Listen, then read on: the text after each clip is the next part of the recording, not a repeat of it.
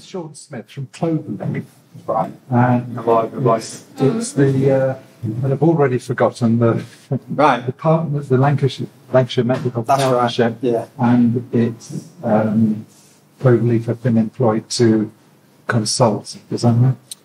Well, a service has been commissioned and Cloverleaf have kind of been awarded that uh, contract, so to speak. But Cloverleaf are an advocacy service who are like, it's a broad spectrum in what they support people with. Um, it's not even based in Lancashire. The first project was called Carers Count, which is an advocacy service supporting people who care for other people. Um, and then from that, there was like I said, there was a contract that went out for like a peer mental health support um, network, and Cloverleaf got that as well. So I'm just going to read like a really short synopsis of it because otherwise I'll waffle for too long about it, right? But they were commissioned by Lancashire County Council to help co-develop, and that's the most important thing here. It wasn't like a you set this up so that people can access it. This was okay. We get the people that are interested, and then we'll set it together. So co-develop a peer and group advocacy network throughout Lancashire with a core team of four people who all have lived experience of various mental health issues. Part of this project is to help launch Lancashire Mental Health Partnership that will function akin to the existing Autism Partnership Board and the Learning Disability Board. So basically, once that was formed, we had to decide how we was going to kind of uh, meet up and in what format. So the first meeting happened, and then it was kind of decided by all in attendance and then the people that we had conversations with previously that meetings wouldn't really be um, the most functional way for, to have everybody involved because it's all about accessibility. So we, we came up with like, we asked people how they would like to be involved and the, the, the kind of, a lot of the feedback was phone calls in their own time. Um, a lot of the feedback was emails and social media as well. And a podcast was another way as well, which we're currently having talks with, but nothing, nothing's been settled with that yet. Um, and it was like bottom of the list in terms of the actual meeting. And Lancashire County Council and the commissioners were kind of like, you know, why, why is that the case? And, and the response back was really, it seemed too formal, it seemed too like regimented, and people wanted to share when they wanted to share. So collectively, we came up with these subgroups. There's just six to start with. So there's, um, it was holistic pathways, but that transcended into different ways to well-being. That was a better wording for, for the people that mentioned it. So it was like, all right, we can we can roll with that. We're not we're not um, restrictive around names or anything like that. Um, so we've got different ways to well-being. We've got the zines. So obviously, I'm very interested in this event with what's going on here. Um, we've got housing and benefits. Um, we've got employment, and we've also got uh, education. But we've also got uh, self-advocacy awareness packs. And what that really is is certain services like uh, social prescribing, for instance. It's simplifying that to a point where people can really prepare for what they want to get out of it.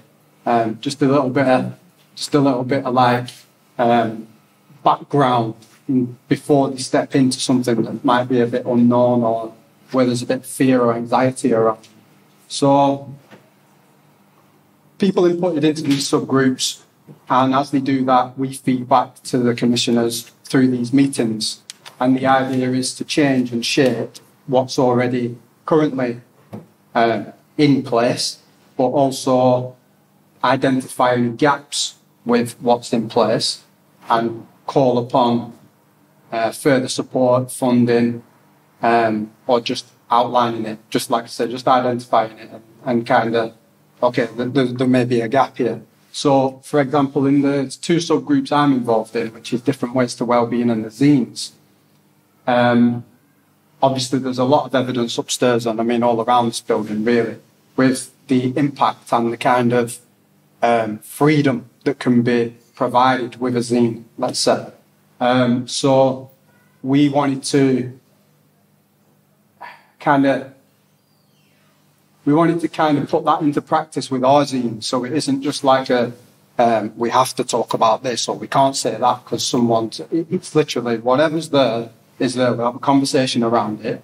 Um, and there's, there's a lot of testimonials from peer advocates in there because obviously they're passionate about sharing their story to, to um, basically put the first foot forward and say, look, we're all right to talk. So hopefully everyone else can, can feel like it's a nurturing environment to do so.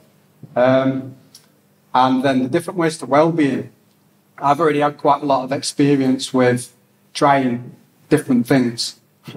And, uh, you know, like, for example, a flotation tank. Um, so I was already really interested in getting involved in, in that subgroup. And I've uncovered things that obviously I've heard about, um, but for instance, a World of Warcraft group. And uh, the, the, the stories, the testimonials, the long lasting stuff that's come from it is just, it's really powerful and worth a conversation.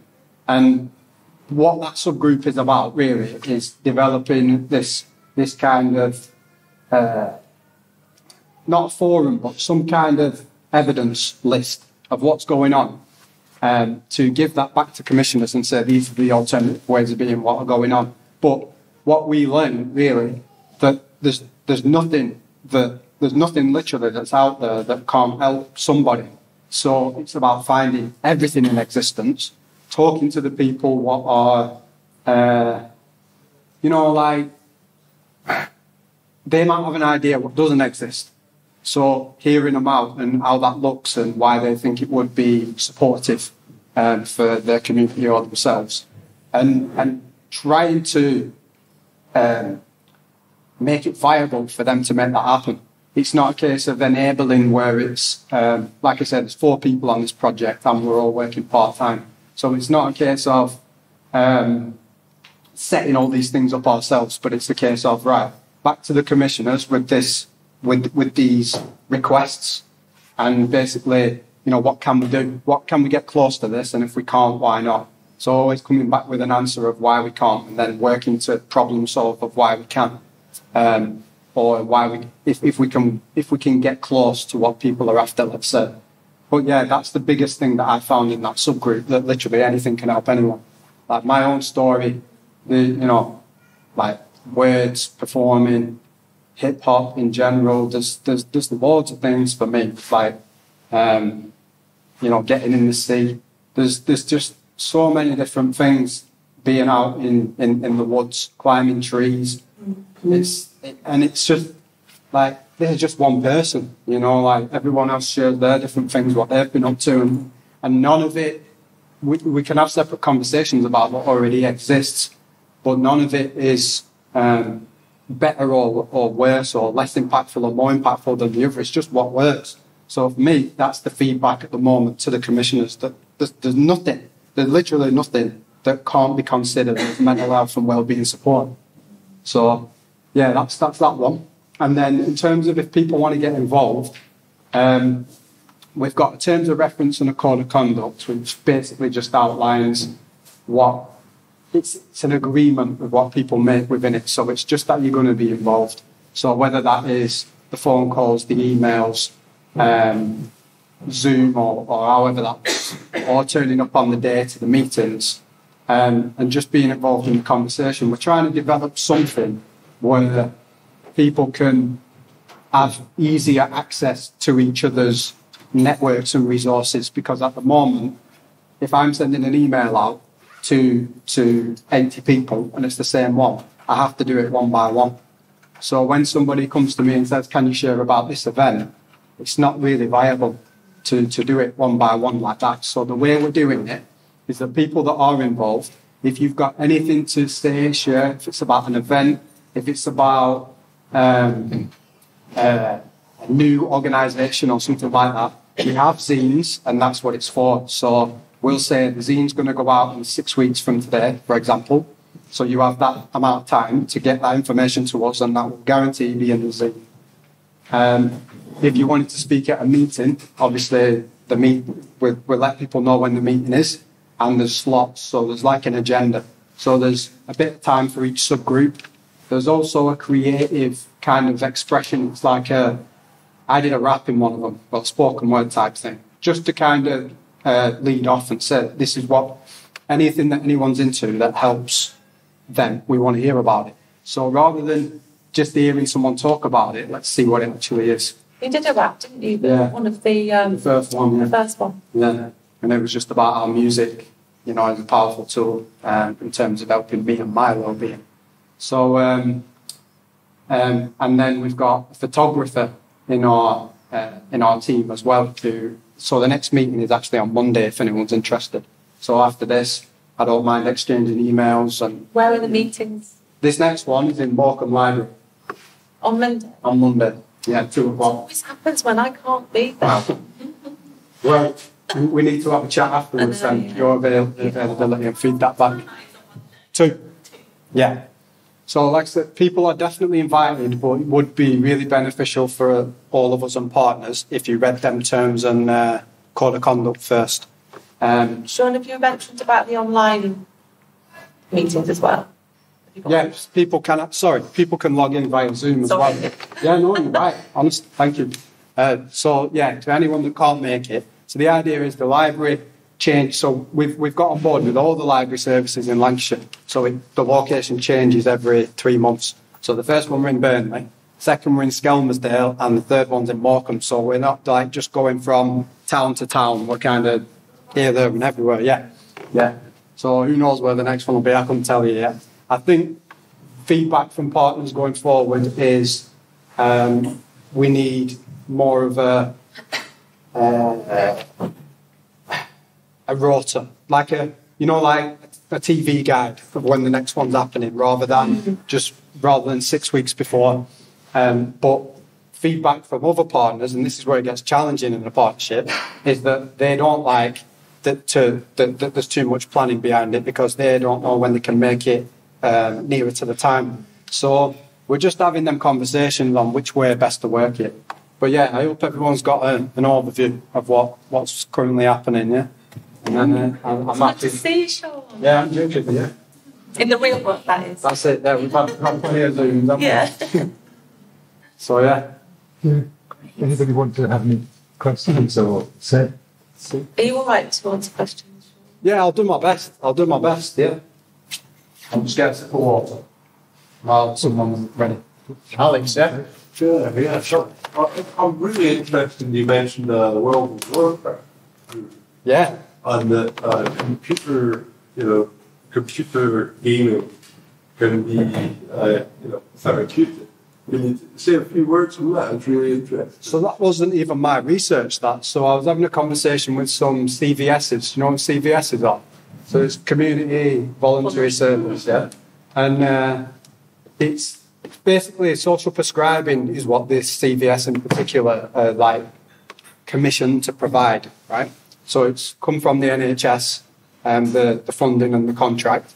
And although social prescribing is in place in various clinical um, settings, this is like an alternative social prescribing service. And that was just one of the things that they had like. So I, I- I don't know in terms of how, I- how accurate this is, right? Whether the group existed before they came along or whether they just discovered it.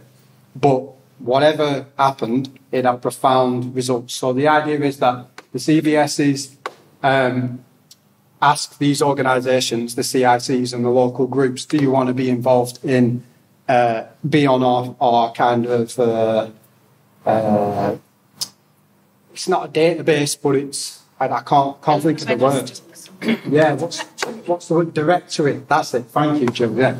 Yeah. So, do you want to be on that? Right. So, in order for them to be on that, they have to have certain criteria in place, you know, for safeguarding and things like that.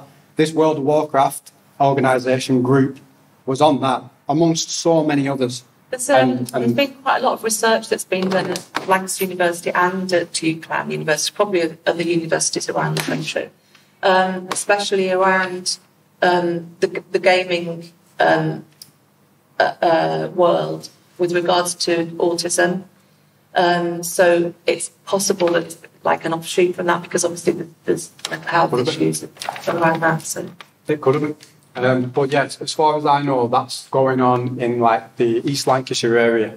Um, so, for example, Alex, this this would be an example, right? If you were kind of wanting more information on that, and like I say, if you read the terms and wanted to be involved, because it's kind of that two-way thing. It's kind of like we'll support you if you're going to be involved, um, because it's it's really important to kind of get that message across that nothing can happen without everyone else. You know, there's four people that at the core of it. That's it. Um, but the possibilities are massive. You know, because there's so much there's so much wealth of knowledge and resources and, and funding which which is there. It's, so if you said, "Yeah, I like the sound of that. I want one round here," that's exactly what I'd be saying in a meeting, you know, or you can say it yourself. So that'd be the thing. That'd be an example. Thank you very much. Cool, man. Thank you.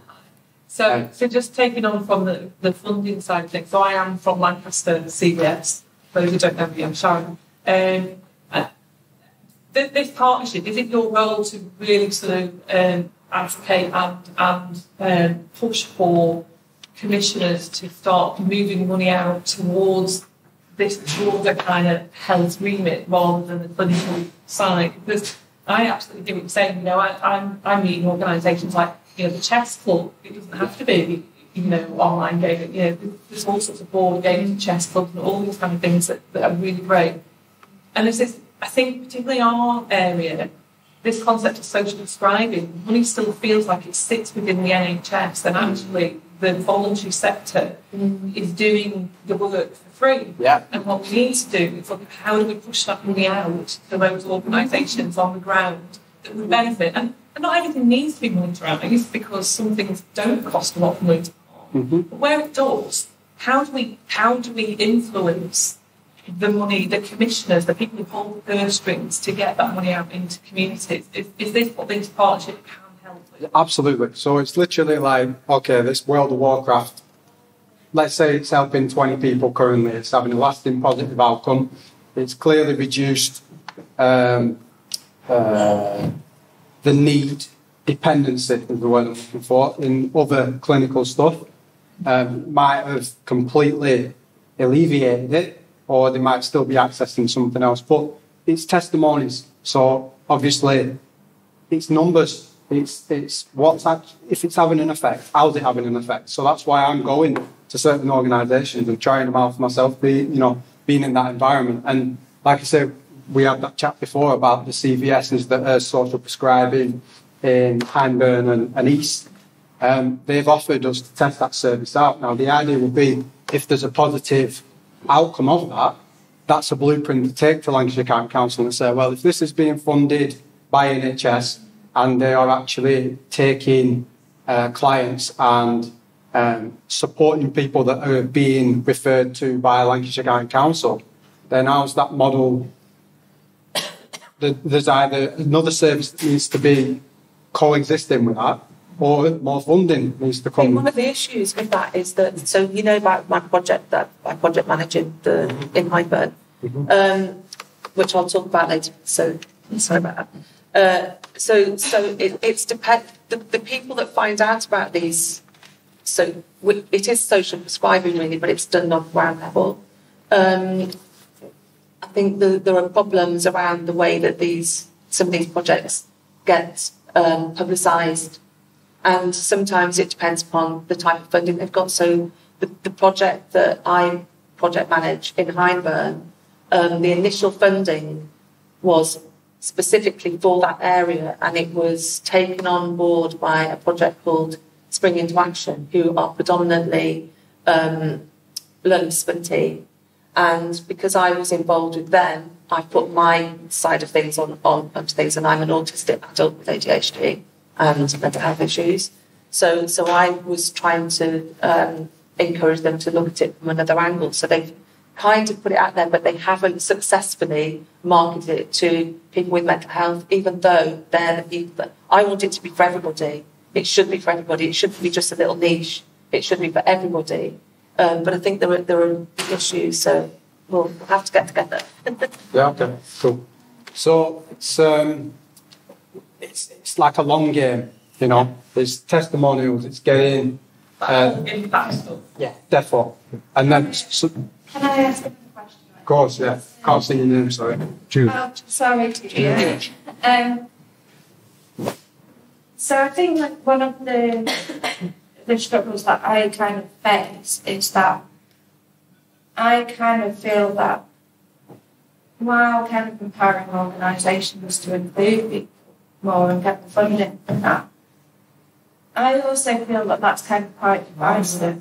Like it's my it's segmenting people a little bit. Like you can access this if you've got mental health problems. I have mental health problems, but I don't feel that that should be a barrier to me doing mainstream, ex- you know, like activities as well, except for the financial implications.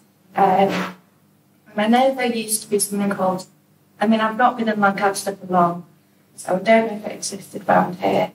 There was something called self-directed support at one point, whereas where if I could justify that something was going to be good for my mental health, then the council would pay the fee. So nothing was extortionate. I wasn't going on holidays. I was going to learn French at an institute that could cater for my level of French because just because I have mental health problems doesn't mean to say I'm stupid and not capable of engaging with mainstream activities. And so I, I kind of, you know, wonder is, well, I completely like agree with the basis, you know, that, that you're working from. What what support is there there for people who don't have them? Do you know what I mean? Like for people who have like full time jobs and that they can pay to do things, whereas I'd be wanting to do them for my mental health, but not just have to be keeping into mental health settings, not just having my social life confined to mental health settings. Mm, with it. Do you know what I mean? Like, what capacity is there to support me in being able to actually integrate with the rest of society? There, is, there isn't, yeah, yeah, sense? yeah. It's like- There isn't any barriers though, as far as we're concerned. I'm going into places that accept anyone and everyone. Yeah, but I mean, like, where would I? But do you know what I mean? It's like if you're giving the organisation Mm. funding or whatever to say, well, we've got this interest Yeah. of these people who have mental health problems. What about kind of an individual not wanting to go to a setting where it's all about mental health or neurodiversity and actually wanting to integrate with the mainstream? Where does this support? Sorry. Oh, but have I answered really open question? No, I kind of get what you're saying. Yeah. But like I say, I've been to certain certain places where like this. So it is the mental health partnership, right? But it's all about well-being as well. So there is no there's no criteria. If the person thinks they've got lived experience, who's who am I to say that they I think, I think what you're saying is that, I'm saying um, that funding. yeah, so, so a lot of the funding comes from Sorry, people. have I just made everything really No, no, no. No, no, let's ask the question. Yeah. It's, it's, it's the funding situation, do you know what I mean? Because So do you mean if the, so instead of a mental health partnership, can there be a everyday working people partnership? Is that what you're talking about? I think she's trying to say that the people that we get funding from to enable these projects, like I was talking about before with the Hyndburn project. So the local council have decided that they're going to fund a particular project and it's going to be for health. So all the people that get into that,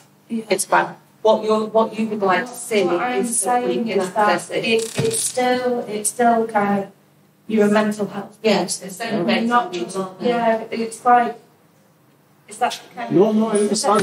I understand. There's- Does that make sense? I know there's no easy solution for it, and to be honest, it's like, it makes sense. But the way I first got self-directed support, it was kind of like, I could do anything with it, because Yeah. actually, it's like people who were governing it were Yeah. not, not very good, but I still think there could be like an awful Does that, I don't know whether that still exists, does it? I think it was a long time ago, like it's, down to personal budgets, I'm afraid. So if, if, if somebody's got a personal budget, so if they've had a social worker and they've got a personal budget, they can liaise with the social worker and then access it. I, yeah. it, it, it's it's complicated, but but you know what I mean. It's kind of it's kind of it's from these situations this way, it's kind of saying you're a mental health person and we'll support you and a group of other mental health people to do it. You as an individual to actually do it's quite like mental health. Mm-hmm.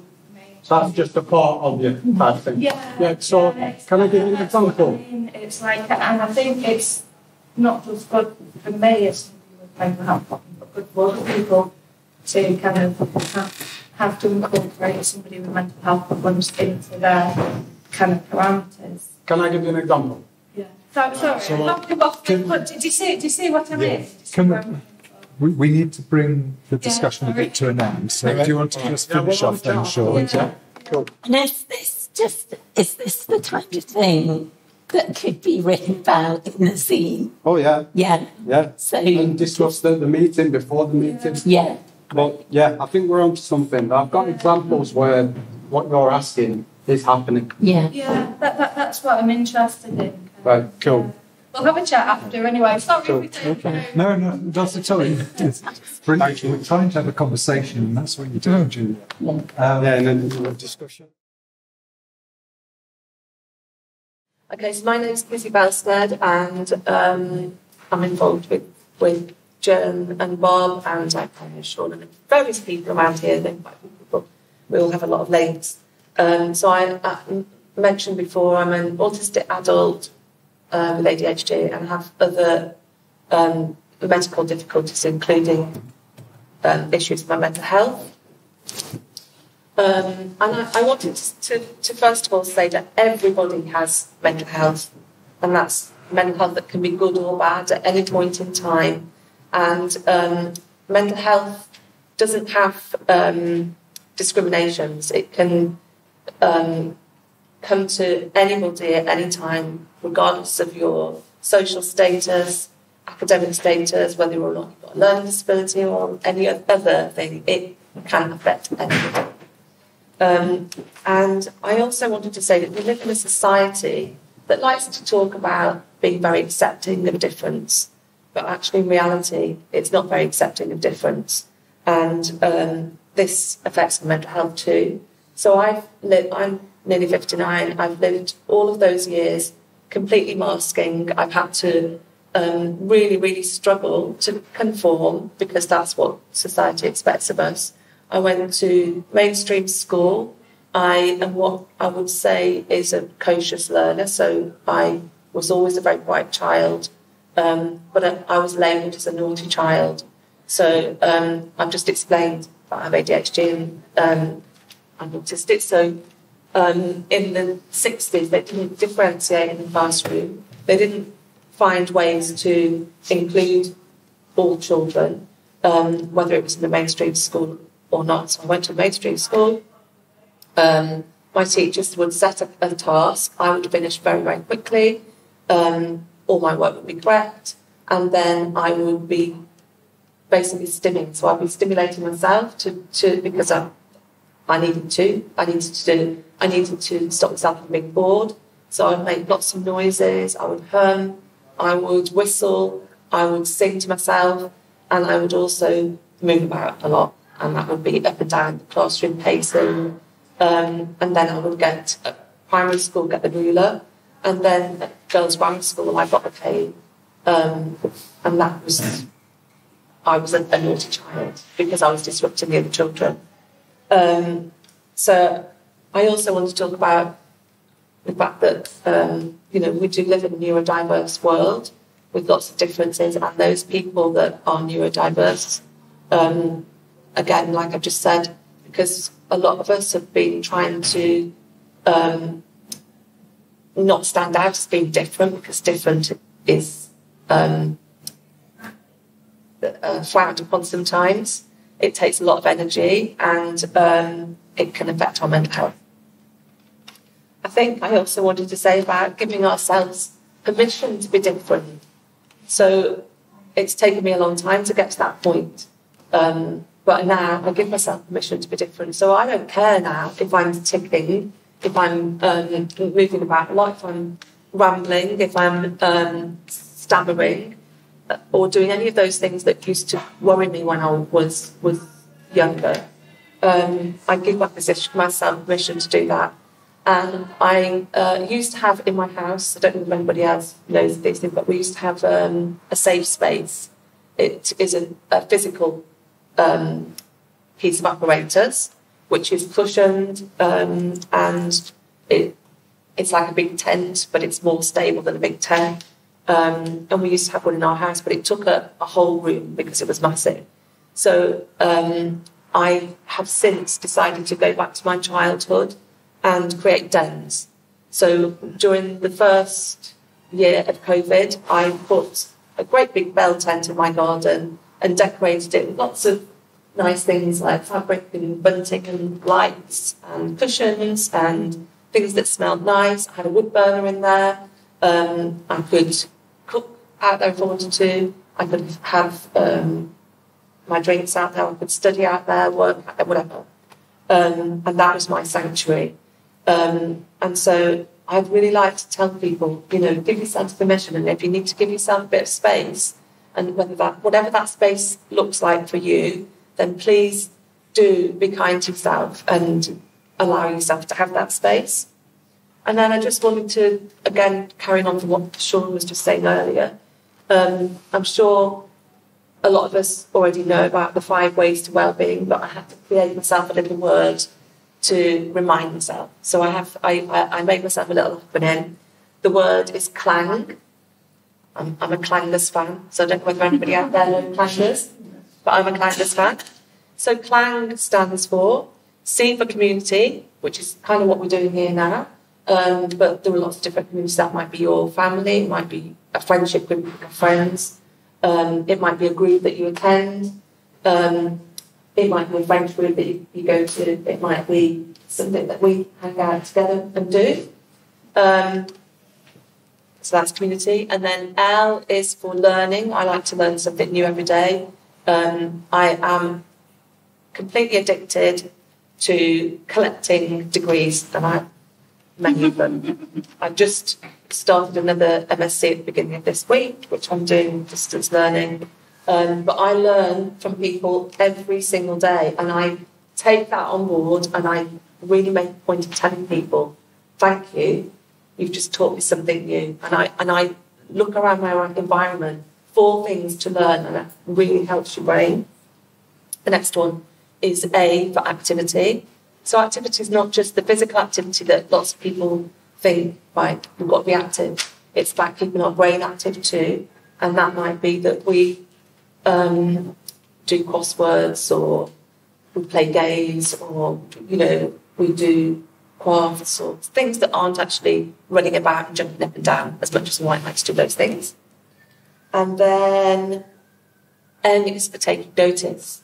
I love forest bathing. I love slowing things down because I'm my mind races completely um, on a bonkers level, um, and I get really manic. So I like to slow things down, and I do that by going for a nice walk in the woods and taking on board all of the sensory things that we we uh, can become aware of. So that's what we can smell, that's what we can hear, it's what we can see, it's what we can taste. I like I like licking things. I like going up to um, bark and finding things and tasting them that I know are okay for me. By the way, um, and any part of our sensory system, we can slow ourselves down by taking notice with those. And then the last one, I think people forget about this one, and it fits in with what the Tara Centre do very much, and it's about giving. And, and so I, I really like to do random acts of kindness to people. Like one of my strap lines is if, if you get an email from me, you'll know it says passionate about kindness.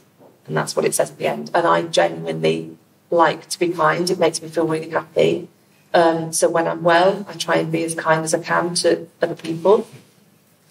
Um, we don't have to spend lots of money to be to give to other people. We could just give a little bit of our time and ourselves. We can swap skills with each other. Um, we can offer workshops, which just reminds me now that the, the last thing that I was going to say was about um, a project that I manage in Hyndburn, which is what we were talking about before. So that project has brought together um, mindfulness and well-being and craft and art, and that's those things combined. So it is social prescription, but again, it's it's um, been put out there due to some funding that was available. And I'm hoping that I will get some funding to be able to deliver that around the whole of Lancashire rather than just one small area. Um, I'm in talks at the moment with the Autism Partnership Board and Dan, don't you know about that, um, to try and deliver something in, in Lancaster. So we're in talks about that at the moment. Um, and it won't be exclusive, by the way, so it will be for anybody to, to come. So the group that I set up in um, Hyndburn, I, I struggle with suicidal ideation, so I'm sorry if I upset anybody by saying that. Um, and what I do to keep myself strong and healthy is that all of these things I've just mentioned to you. Um, when I got the funding for the project that I'm managing in Hyndburn, I was so overly excited. Um, unfortunately, it then um, coincided with uh, my friend taking his own life. So to keep myself positive, um, we named the group with everybody else's permission um, Nane, which stands for for all the Neils and a friend called Neil and Nels and everyone else. So in other words, that's for every male, every female, anybody, whoever you are, however you want to um, describe yourself, whatever your gender identity is, whatever your sexual identity is, whatever your neurodiversity is, it is completely inclusive. So um, it's going to be. I hope I've only been short. Um,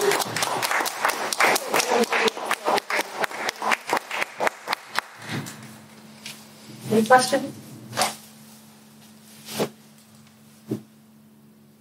I just said thank you. Now, I've, I've got a question. I'm really interested in that, that you keep learning within the therapeutic context. Yeah. That really rings my bells. Yeah. Um, yeah, I'd like to hear, hear more about, yeah, how you were using learning. Yeah, so, I, so within within so so I, I need to learn. My brain is so active. It's it is uh, it, it does my own head in. Never mind other people's head. So so I so I, I need to juggle lots of things at the same time. So otherwise I get uh, bored, and then my brain starts doing other things. So um, I'm actually in the band. Well, I we're, we're on hold at the moment. I'm actually in the band with Bob, who's just walked out, and another guy. Um, and I play a lot of musical instruments as well as sing. Um, so that's one thing that I do, and um, I'll go along and attend various different things and listen to people and thank them for for you know the opportunity to hear them. And I usually watch people quite closely, so I'll I'll um, think actually quite like the way they're doing that, and I'll go over and ask them about it. So that's another aspect of my learning. Um, I don't think I've ever been out of education. Actually, I think I've continued in education most of my life. I think I probably had a year off when I was pregnant. No, two years off actually. I've got two children, so probably two years off. But other than that, with regards to degrees, that is um, that academic sort of learning. But um, like I said before, I like to actively learn. So I like to look for things to, to learn about, and I like to thank people for, for what they've um, taught me because I think that's good for their mental health. And I think that's really good for my mental health to actually thank someone for something. Thank you. yeah. This is, it's not really a question so much as like uh, a remark that um, what I really like about what you just said is that um, kind of I've had five ways to well-being pushed on my so many times. and it after a while, it's like you're not well because you're not doing these things in this very like, down way or everything ways like yeah, ways and well we might touch on those but it, it's like people like prescriptive you know with you're being very descriptive and as opposed to if you're not doing these five ways you're going to be illness until do you know what I mean? Yeah, you're being both afraid of being slaves and I really like that. It's more of a comment to back to Then we've got another um. Does anybody else want to ask anything? Just a follow up what you just said. I agree I think that we lacked onto uh, strategies. All of a sudden somebody comes up with a strategy, um, and if we're not doing that strategy, then it's not the right And- thing. Yeah, and a strategy works for one person. It doesn't work for everybody. You know, it really doesn't. So, the, so I've learned in my nearly 59 years the strategies that work for me. And it's taken me a long time. I've worked out what my triggers are to getting in, and that's take. I only, I only really started to work out what my triggers were the last time I was in crisis. Um, that's it's taken so long so, so much therapy, so such a long, long time to get to that place. But now I know those are the triggers, so I have to have um, things in place. One thing, another thing that works for me is I have a one-page profile that I share with um, my social worker and with the people that have to work with me um, to make sure that I'm kept safe and to make sure that the people that work with me know when to worry and when not to worry. Um, so that's that's that's a, a helpful strategy for me. I'm not going to say you must do this and you must do that, and I think that's really important for people out there, especially in the in the, the medical world. Things That medical model. it can become very prescriptive. It's like if you're not doing these five things, like you know you should be, it's your fault that you're not. Even if one of them is really triggering for you, or something, like, well, you're not doing it. So now it sounds like a, a great approach that you've got. One of the things I, I, I just wanted to add into the conversation is the lack of trauma support or the lack of awareness around trauma underlying a lot of um, issues. And also this, I kind of you were saying earlier about services and organisations. It's almost like um, we know that they stigma and blah, blah, blah, blah. We know that.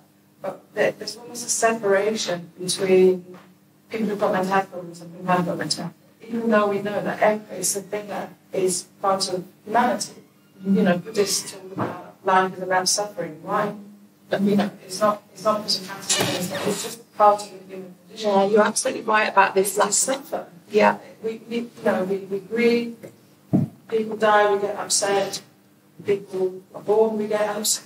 you know, um, for all kinds of human reasons, we have crises. Um, some of us are more supported, some of us are less supported, some of us have more resources, some of us have less Yeah. resources.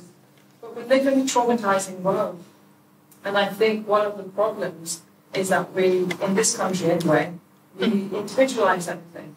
We individualize when, when someone has a mental health issue, we say it's you, but actually they're part of a lot of the things are external, aren't they? They're part of They're. Environmental. Part of the system which oppresses people on so many different Yeah, levels. absolutely. And, um, you know, racism, poverty, these are all traumatizing conditions. To actually walk past somebody who's lying in, next to a bin, Yes. sleeping at age 17, that's traumatizing. That, it kills a part of our heart. And um, it's not okay for any woman to know that two doors down, and those children are starving. It's not okay. Can I just make a little short response to that about the trauma, the trauma side of things? So I, I do a lot of work with the NHS and, and also with the justice system. And um, the justice system are actually taking on board this trauma side of things. They're trying really, really hard um, to, to, to think about things from that perspective first of all before they start working with people. So there are move, there are move steps, there are steps forward, but yeah, we still in this country anyway are still living in a society, where um, people are being traumatized every day on different levels, and uh, where that's not factored in. So Sometimes then also, uh, what, sorry, I just finished one sentence, what was saying. So, and to help people um, doesn't necessarily require rocket science. You know, we know that actually witnessing people, being um, accepting people, being there in like presence, just during COVID, what Judy did, for example, she just she just turned up once a week for an hour and a half. There's a film upstairs that shows you that people said it saved my life. Um, during COVID, we couldn't do anything. She just turned up in the woods. That's you know, you stood this far away. And people said the same weather. Um, so it's almost like, and, and this thing about people having mental health problems, not services for mental health problems. I feel like everyone should open everything to everyone. And you happen to be in recovery, you happen to have mental health issues, you happen to have cancer, you happen to have been to prison, you happen to have been sectioned, you happen to not. And people, it's, it's, it's just like sort of saying about what you said about it affects everyone. It feels like all of us need to consider mental health issues. All of us need to consider all of these issues and make an extra special effort to open our doors and be inclusive. I absolutely agree. And I think, you know, like we've, we've, we've both said, that society uh, pushes upon us certain ways of, of being, or some of us, not all of us, but um, it certainly pushes out there in, in um, the media, etc., how we should be behaving or how we should not be behaving. And I think that, that example that you gave earlier about somebody lying next to a bin, asleep, um, without anywhere to live, I think, you know, there's been a, a societal response to that that's pushed it out there onto other people. So therefore, people just look with disdain. Um, so in the end, the people that care about those kind of people are in the minority, and it should be everybody's responsibility. You know, and that's across the board. I don't just mean about people who are living in that way, whether it's drug abuse, alcohol abuse, whatever it is. You know, we, we, we're conditioned. In, I can't talk about living in other countries, but certainly in this country, we're conditioned to behave and respond to, to, to other people in a quite a, what I feel is a, a negative, unhelpful, unkind way. Yeah. I disagree so much with what Eldan has said, because everything to do with any kind of illness seems to be couched in such loaded terms of personal failure. Uh, I just lost my sister, uh, and so many people can't, she was happy ill for quite a while uh, with cancer. And so many people, and I see it all the time when they say, she's lost her battle, you with cancer. Oh, the language. It's the language of, Yeah. of battle, of challenge. And if you die or have become severely uh, derailed mentally, then it's because you haven't had the willpower and strength to fight. Yes. And, The- the I language. really can't stand this kind of thing where uh, she fought so hard. Uh, and then, of course, she caved in and died. I mean, I find it We've just been talking about that whole language um, thing upstairs, Yeah, actually. the language Um, around the illness and how we respond to it. Uh, it's like everything else, really, in this life, isn't it? If you're not out there, you know, with fists up, making your way, then you have given in and you sort of give up the strong and you're failing. Yeah. Uh, I find it completely appalling and very, very difficult to cope with. That kind of language actually ends up being part of everybody's nature because it's kind of put out there. It- you know, you have to think really, you have to be really strong within you, your own uh, mind to be able to, to put things in a different way. You know, we. I, I was given an example upstairs actually about a conversation that I was involved in, and it's it's about other self, so a, self advocate. Um, it was about other self advocates and myself being involved in um, a project um, around people um, coming out of um, secure institutions um, on discharge and working with them as peer, as you know, peer support. And not everybody has the skills to be able to do that, but some of us are so eager. We want to offer to do everything. And I, I wanted to say that in a kind way, but to ensure that other people that I was there talking to would take this on board. And I didn't want them to think I was attacking them, again, attacking.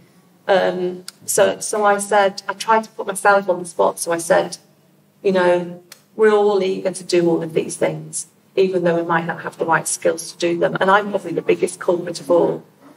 That was the language that I used. I didn't even think. And then somebody else that was in the group, who is a psychiatrist, actually said, Kizzy, that language you shouldn't use it. It's very negative about yourself. And, and I just, it was such a shock to myself that I was using that language that I just absolutely broke down and burst into tears. Um, and it's true. You know, I tried really hard to use positive language, but I fall prey to it, fall prey to it as well. Uh, thank you. I've always really enjoyed your level of self knowledge. And you really know who you are. And uh, Well, I know I'm very outspoken. but there's a there's a there's a great joy about the, your self knowledge, and it and it opens up pathways for us all to, to follow that. And I think and self love is a, radical act in an oppressive world. So thank you very much, thank Kizzy. Thank you. We're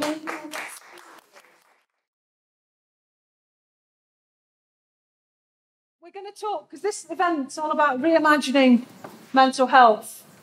And uh, one of the projects on this wall, I think, possibly, the Icarus Project, which was a project in the States, now called the Fireweed Collective, came up with this idea of madness as a dangerous gift.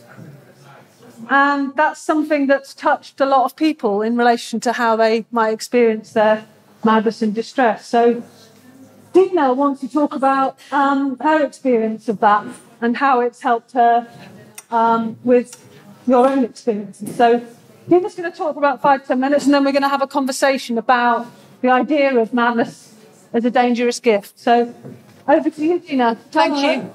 Um, yes, hello. Uh, yeah, I think um, I find uh, the idea of madness as a dangerous gift as um, I, I think one of the best uh, descriptions of madness um, because I think it kind of captures the contradictions and also the ambivalence, my ambivalence around my madness and madness as a whole. I think I can find more to talk about the dangerous aspect rather than the gift. I guess for me, well, the dangerous aspect was, you know, my experience of what it was called psychotic depression and how terrifying it was, how, uh, you know, for me and for people around me. I mean, Helen uh, saw me when I was like that, and I was very difficult to be with. I, uh, I wasn't violent. I guess I was violent against myself in the sense that I was suicidal. But um, I was very tonic, very uh, not being able to think. I couldn't understand English. I had written a PhD in English, but I couldn't understand the language when I was in that phase. And uh, also, you know, my experience of being sectioned uh, for three months in North Manchester Hospital. I think it was a very particularly traumatic experience because for me there was no therapeutic care whatsoever. Uh, Sorry to interrupt you. When, how long ago was this? Oh, yeah. Oh, uh, it was 2009. Uh, It's just to put it into perspective about the care. of course. Well, it hasn't changed much, sadly, but uh, yeah, it was 2009. So I was there three months. Um, and um yeah, I mean, according to my care coordinator afterwards, you know, the hospitalization didn't do much. Uh, perhaps you know, I was able to sleep better as a result of the drugs, perhaps. I'm not sure what it did for me. It did traumatize me.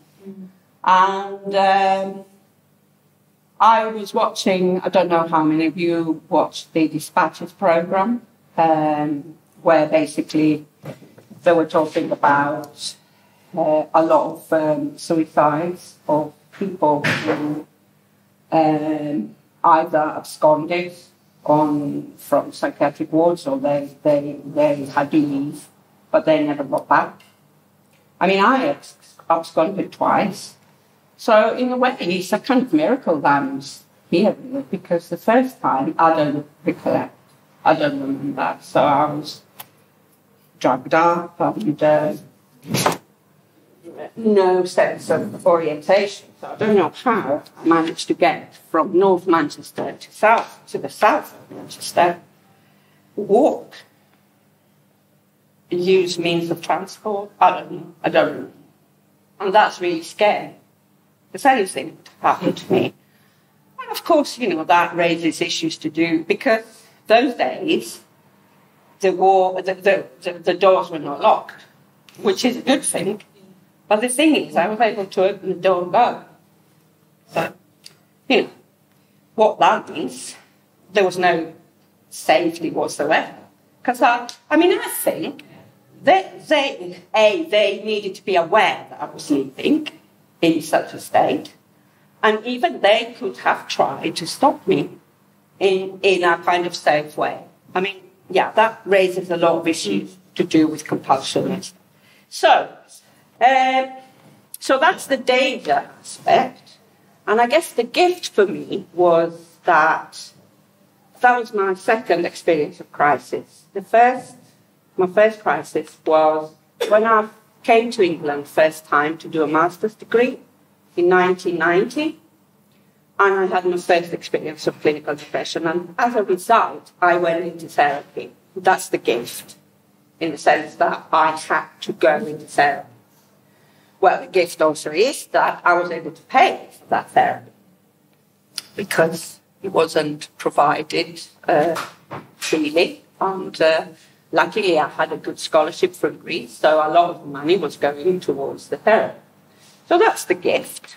Um, I, uh, I was looking at um, something that um, Spike Milligan uh, said. Who, Spike Milligan was an Irish writer, uh, and um, what else was he? He was a writer, Spike, wasn't he? He was a comedian. He comedian. Was, he was uh, an actor. He was an actor as well. He was also someone who struggled with his mental health. Yes, exactly. And uh, so he said, Blessed are the cracked, for they let in the light. And that, I think, captures the contradictions. Because, I mean, we crack when we have a crisis, but somehow, I think, another gift is that I think it kind of opens up our understanding of the human condition when we go into these places. The, you know, the, the kind of extreme states or whatever you want to call them. And also, um, I think that's a really, what's the lady that made that? I can't see it here, but I didn't do that. I didn't draw that, but that's a good image of the cracks. And also, Leonard Cohen uh, wrote a song, and uh, I'm just going to read some of it, and then we'll just have a discussion. So he says, The birds they sang at the break of day start again. I heard them say, Don't dwell on what has passed away or what is yet to be. Or the wars, they will be fought again. The holy dove, she will be caught again. The dove is never free. Ring the bells that still can ring. Forget your perfect offering.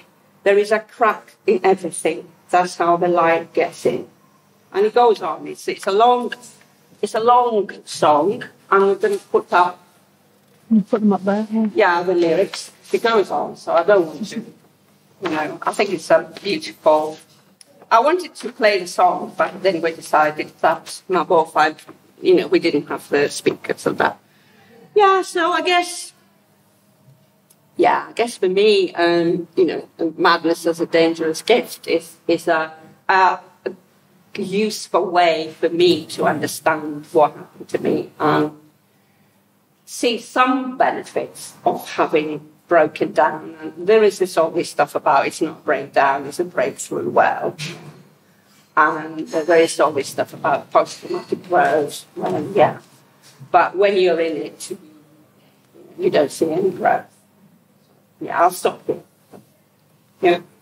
Um, I just wanted to say thank you for what you've just shared, and also I wanted to say that I love those two pieces that you just shared. Do you have you heard of? I might get this wrong, so I do apologise if I've got the wrong word. But there's a Japanese culture. Um, I think it's Fujitsu or something like that. Fujitsu Sumi or something like that, and it's um, where they repair the broken things and make them a thing of beauty. Mm, yeah. So, um, and they'll so they'll a, crack, a broken vase. What did, did someone remember the name? Wabi Sabi, it's called. What's it called? Wabi Sabi. I think it's called. called- I think we're. I think it's called what you said, Well, it's not being considered. Kintsugi. Yeah. So, so um, for example, there might be a broken vase that's broken into a million pieces, and they don't want to just see that as something that's broken and finished. They want to see that as a piece of beauty. So they build it back together with gold.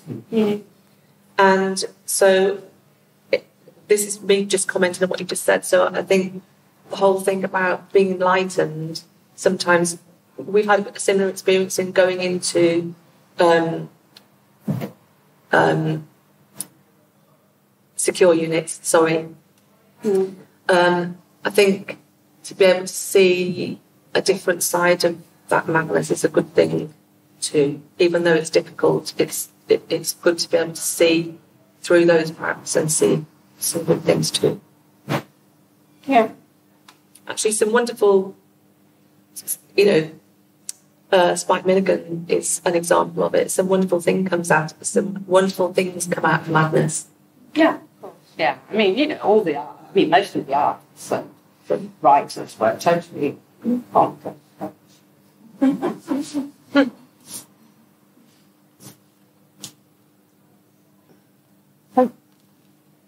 Anybody else like to ask a question or say something in response? Bob. I, I love that song. Uh, Yeah. but to me, it's always bad.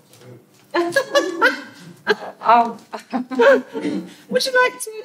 No, no, no. Yeah. yes. Oh, it was the whole, whole thing of Doctor Who, whether it was a cracking universe. Um, Oh, oh. It was like Black Pepper. I think I, I'm lowering this. Sorry. I, I think I think for me, what it kind of conjures up, I think one of the reasons I like it as well is that it's kind of like yes, the the, double edge, the paradox of it, in that it might let the light in, but people in the meantime will suffer, and we will lose people. You know, if you crack open, you might recover, you might not.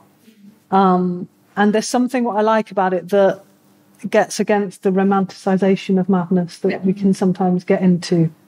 Either it's demonized as dangerous and we must prevent people going mad, or that it's somehow it's a spiritual journey and or you know we will learn things from it if we just recover. And there's something that's problematic in that. And I think what it does is that it It's really tricky, isn't it, when you're in the midst of it and you've been through it yourself to see anything other than, oh my God, this is just awful. I never want to be there mm. again. And especially if you've been through it a few.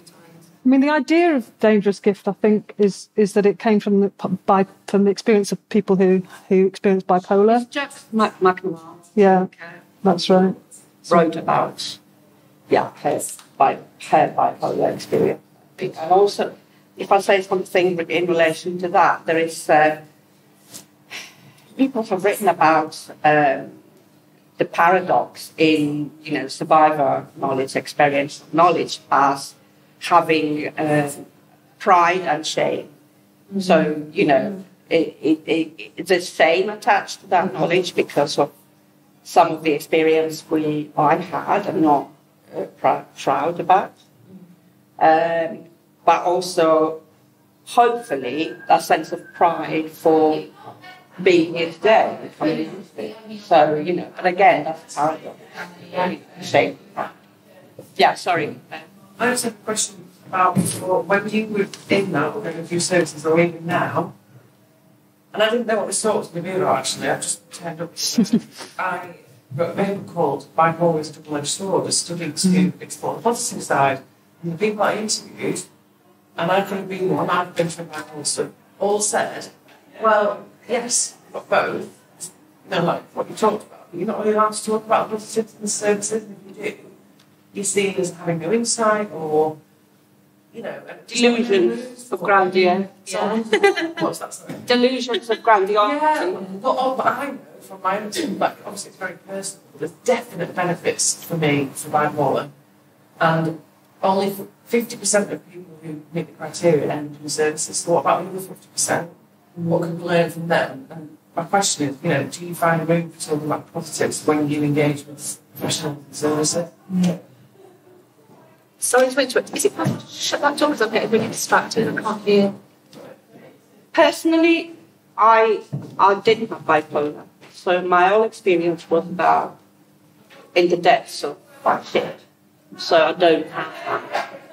Uh, my only experience of being manic is when I tried to come off venlafaxine and you get that um, um, false sense of euphoria. But for me, it's false. I'm not not happy. But it's been that you know I can conquer the world. I'm not saying this is like bipolar, but I don't have experience of that side. You do get a very, very big mania from coming off the vaccine. Yeah, yeah. but I don't think this is the kind of thing you're talking about. Well, it doesn't necessarily just apply to bipolar. Some, some people might say that depression has benefits, you know, because it gives you an insight on. It, it can apply to all, not just bipolar. Oh yeah, I mean, for me, the benefit was that you know I had to uh, face uh, intergener- mind generation trauma, and, and I went into therapy. That was the gift.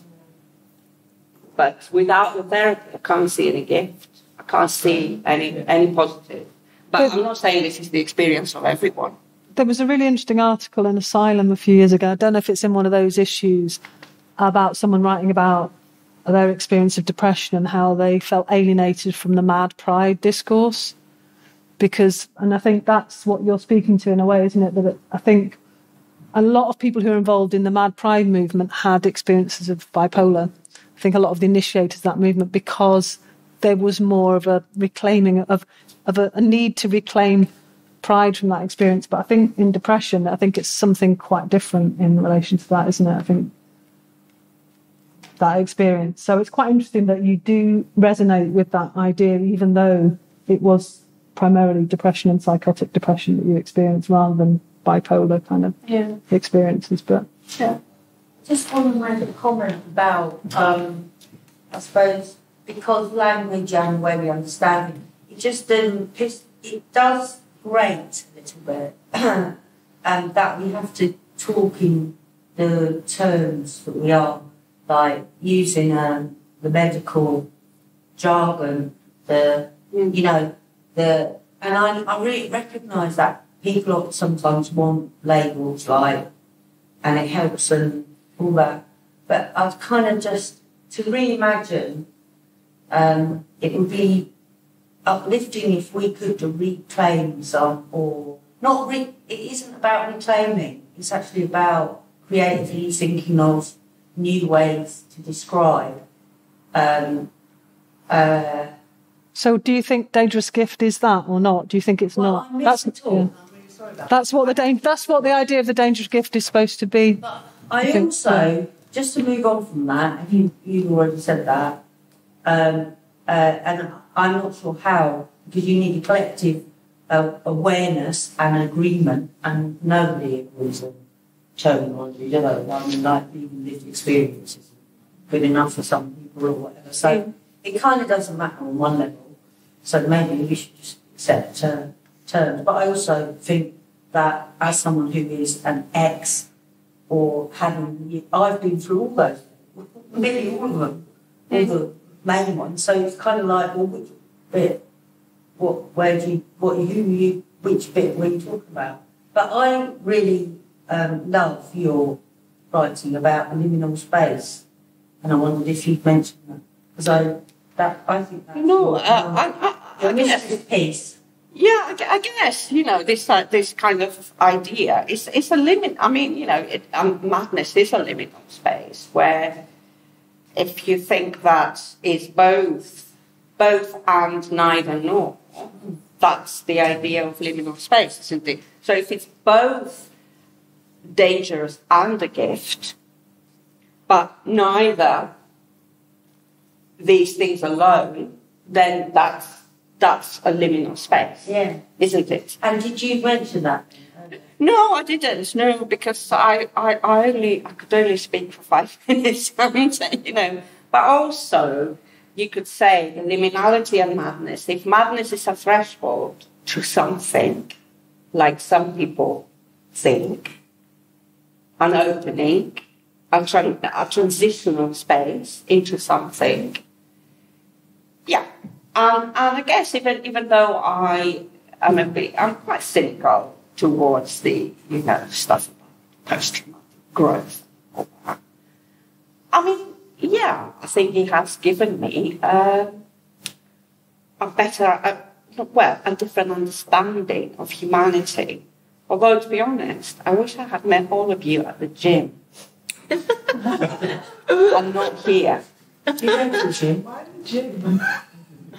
Well, not, well, not in the mental health world, which is actually shows my ambivalence to, yeah, embrace your madness and be proud.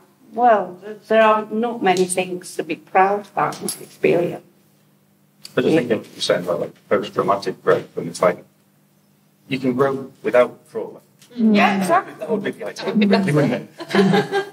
I think it's a, it's a services language, this, isn't it? This is post-traumatic growth. It's like, oh yeah, it's uh, as the recovery business and all that. So So we had one of the tables where we asked people to reflect on, you know, whether they'd found, you know, phrases or metaphors or images that they found more helpful to them.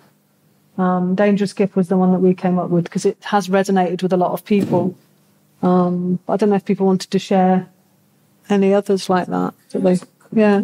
What you said about, um, about terminology, and I just used bipolar then. When I submitted that paper to publication, I used extremes of Mm, extreme, extreme mood. mm, And uh, I felt really strongly about not using the term bipolar disorder. mm. I used to say that it's disordered, it's Yeah. part of humanity, and you know, anyway, the journal, the, the journal said, well, I'll publish it if you use bipolar disorder. And so I fell out with my supervisor going, no, let's not publish it there.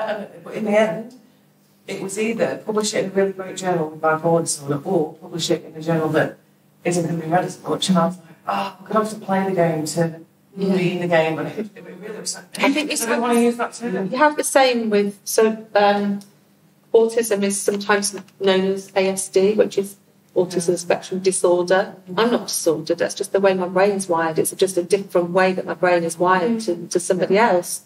Um, and the whole thing about the spectrum, the way that people talk about the spectrum, it's like this linear line where you're more or you're less. That's a load of baloney. For a start off, you're not more or less something. I'm not. The, the, one of the other ways that they, they like to label people is have, or rather have to, is high or low functioning. And they, they look at me and they say, I was high functioning. I don't want to be seen as, as better than somebody else or less than somebody else. I'm just myself. And I, I can be either more or less, um, I don't know, I might have more or less issues with regards to executive functioning or whatever else it is in one hour or one day. So it's not, it's more like some sort of global thing rather than, so, you know, what you call it, not globe. Spe- spherical, spherical. I like a spherical thing, not a linear thing. And I think this, this language is really unhelpful. It's really unhelpful. Somebody, yeah, wanted to say something. Um, language around neurodiversity, which is obviously is like is meant to be res- like um, resisting pathological frameworks. Uh, it comes from a community. It's not. It wasn't medically constructed. It's now being taken back and appropriated within a kind of um, pathology paradigm. So you'll see people using the word neurodiversity when actually it's business as usual. So in a way, this real problem language is like made most beautiful. I mean, this is why somebody's called the very monotropism. And I think there's a lot of people don't actually understand it. They can't appropriate it. So, What was something they got? monotropism is a way of describing people who have single focus, um, which is also, it was Yeah. If you're Greek, you understand it. Good, yeah. But, yeah, it's, it's interesting how these things work. Language is so powerful that it can also be taking people back to different. I, I, I'm, I, although I do agree with this about language, sorry to um, cut in there, I, I actually think this is about where who's got the power. It's actually about power because all, all of those con, sort of constructs around, or whatever you call that, I don't know whether I'm using the right terminology here, but those sort of construct. Um, but they lead back to the power that people like the drug companies have. I mean, massively powerful around all these words and models and linear or pathways. And, and, and I, so, although it is about language, it, it really is much, much, much more. So we can pass around around, uh, you know, discussing how language can, can restrains us and whatever. But actually, it is the the power behind that, those terms, I think. But There was uh, somebody chair? Yeah. Uh, sorry. sorry, fine, spoke over you. This is just a slightly different point related to something that you kind of think something about before. Just this idea of a dangerous gift, to me it makes it sound like some people have it and some people don't. Whereas I think when I think of mental health and people who really experience difficulties to do with their mental health, then obviously some people have many more difficulties than other people. Mm-hmm. It's just this idea that actually I think all of us can understand what it is like to not have great mental health all the time. I think it was kind of unusual if someone's like, no, no, I don't any mental health issues whatsoever. You know, of course you be times of great stress. So I think that kind of concept to me of it being this gift makes it sound like only some people have this, rather than actually we all have elements of similar and different mental health um, issues at different times, even if, like you were just saying in your understanding, obviously for you, that has been extremely difficult for you at times. I mean, not everybody has that sort of experience to be able to connect. Also, has great, great stress and uh, troubling on the edge. Um, yeah. Yeah. Yeah, um, I think, yeah, I think we all may go through experiences of difficulty, but I think there is a qualitative difference between stress and these extreme experiences of distress where you don't be alive, for example. Um, so, yeah, I agree. And I think this idea of dangerous gift is probably another way to reclaim madness as a something that is not totally negative. So, yeah, possibly you, yeah, it may sound that some people have it and some people don't, but for me, I think that the gift was going into therapy. For other people, maybe the gift is that they were able to write great poetry when they were in a psychotic state. I don't know. So, for and, and madness for me, you know, the, the kind of extremes are very different from experiencing, you know, some stressful situations. And this idea that we all have our moments of madness is problematic because, yeah, Well, no. I mean, there's a qualitative difference between these extreme states and also how, how these states are responding to. There's a very different, you know, losing your liberty, you know, being sectioned.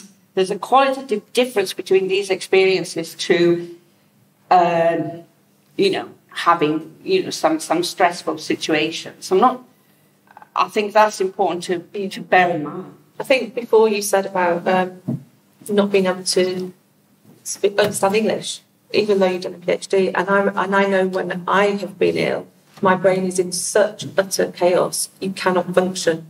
You cannot function, and that's the difference. I think that's, I won't say that's the definitive difference, but it certainly is a difference to the point where, in the end, you need. It's not that I asked for help, I didn't want any help, but I got it because I would otherwise I wouldn't be here anymore, without doubt.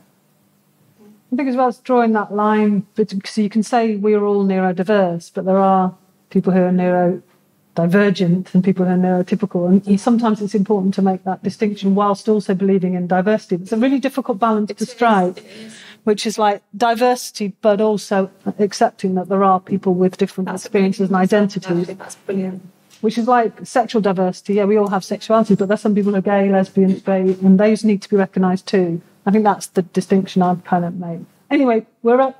Don't want to have the last word, but I did. So, Yeah. we need to thank Dina. Thank you. Let's continue. continue.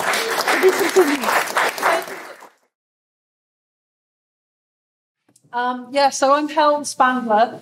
I'm a prof- professor of mental health studies at Preston, live in Manchester. I'm also involved for a long time with CRAMP, the CRAMP project. Um, particularly, I edit Asylum magazine, which is over there.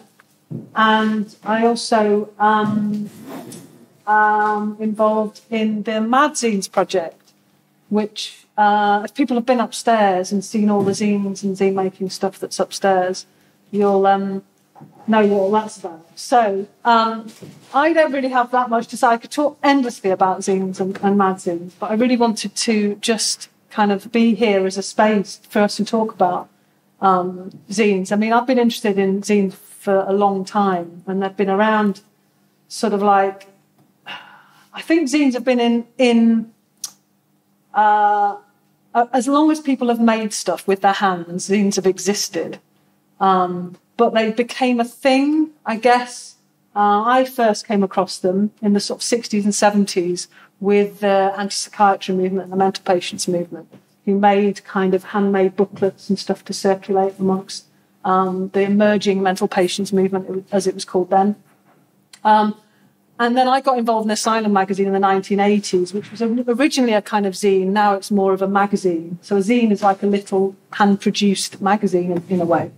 But they can come in all shapes and sizes um, upstairs, which is what we're kind of doing upstairs. We're trying to experiment with them. But increasingly, in the last sort of 10 years or so, they've, they've had a resurgence.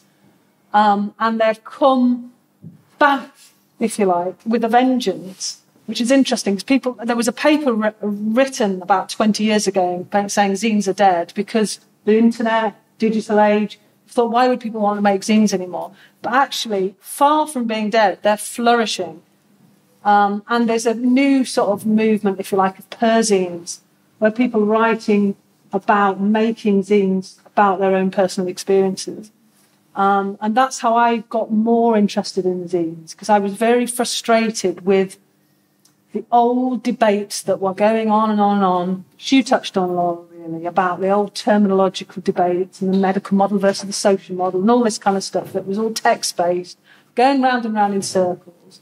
And it felt to me like more exciting things were happening when people actually could craft their own experiences themselves rather than be constrained by the discourses that, that are arisen either from psychiatry or from anti-psychiatry or from critical psychiatry, or any of these kind of movements, if you like, and people themselves kind of having the autonomy to develop their own language, whether it's text based language or images or cartoons or collage.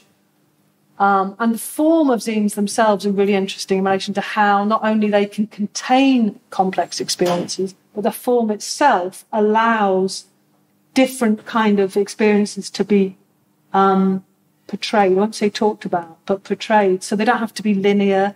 They don't have to be finished. They can be unfinished. They can be seamless. They can be raw. They don't have to be understandable necessarily. Whereas a text has to have a beginning, middle, and end. It has to kind of make sense. And as an academic, I'm often saying to students, you know, like this, you need a clear argument that, that makes sense. And so this project is completely challenging me because I no longer think like that. You know, with a zine, I think it doesn't have to make sense in that way. So we have a different lens to evaluate a zine and to make sense of them.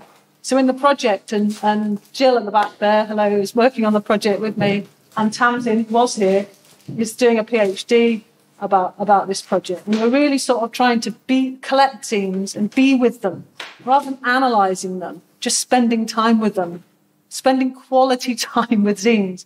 And in the pandemic, we got a great opportunity to spend quality time with zines because we didn't, couldn't do much else. Um, so what we've got upstairs is, is um, some of the zines that we've been collecting as part of the project that you can have a look at. We've also made zines as part of the project, which we're giving away from the side there. And we've also got Asylum magazine, which is kind of running alongside the zine project as well. So that's kind of all I wanted to say, really. I could talk forever about this, but I'm just, if anyone's interested in, in having a conversation about zines or Asylum or, or possibly want to make a zine or have some zines you want to contribute to the project, then please um, talk to us. Just quickly, did you connect up with Sean as well? Because he's doing. You know, yes, yeah. yes, we will. That was why I, yes, I got him in touch. Yeah. There, there is there is a logic to this event that Jill the that Jill masterminded, and it's got a thread through it. It's got a seam running through it. Um, it's, it's, it's been a weird time actually because we all have got we've all crossed over with mm. and intermeshed with each other, haven't we, with our other connections, which has been really, really good. And that's hence why all of you guys are here. Yeah, Dina. I've got a question. Um, I think I've asked you before in trying to get my head around why there is this uh, sort of resurgence. Do you call it resurgence mm, of zines? Um, I was thinking um, in the event in Glasgow, this is the Zine Festival in Glasgow, uh, people were talking at your session about DIY culture, which is what the zines are. Mm. Do you think that this goes together with the fact that, for example, now with mobile phones, people, uh, you know, like make videos with mobile phones, or they can make a short film uh, with mobile phones. So they can do it themselves. So it doesn't.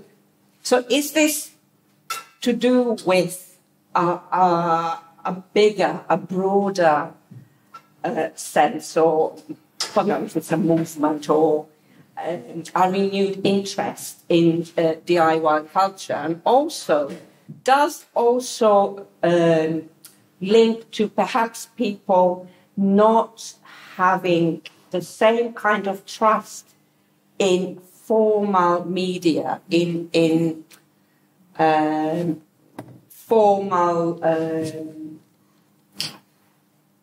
ways of presenting things. Yeah. So they go for a more informal. Mm.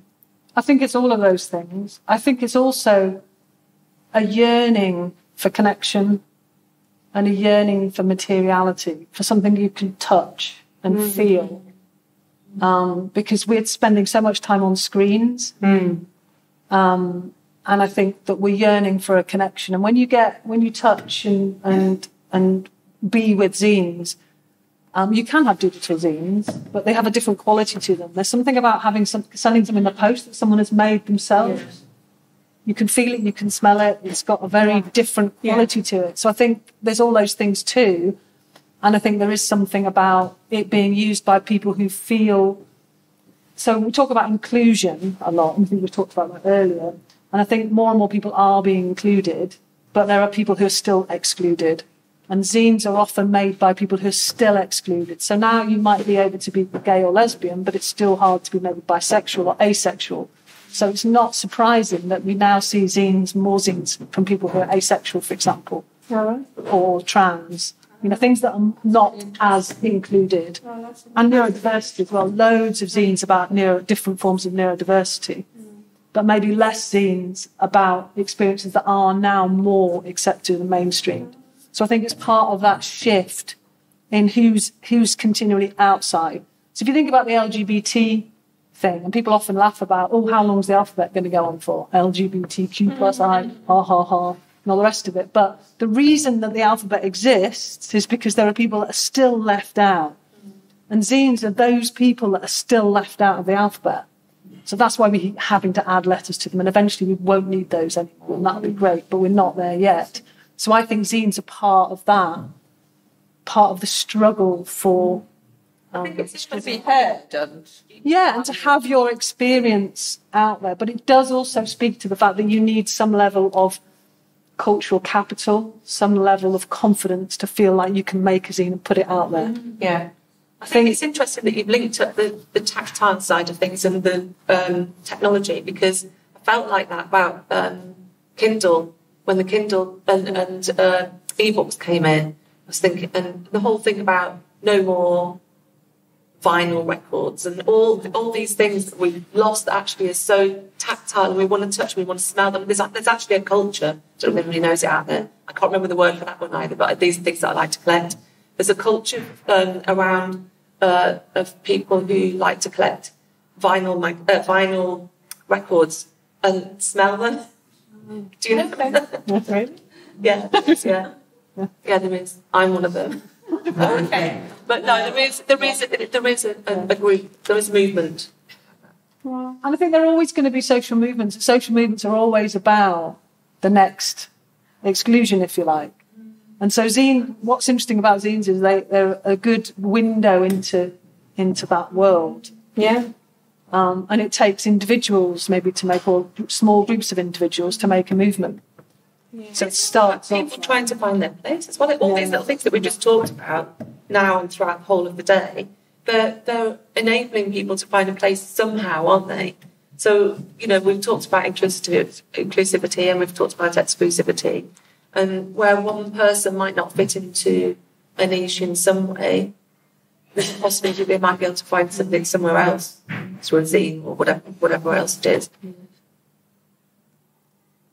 I've I've got the two part of the Well, first, first part would be sort of uh, your, your initial response.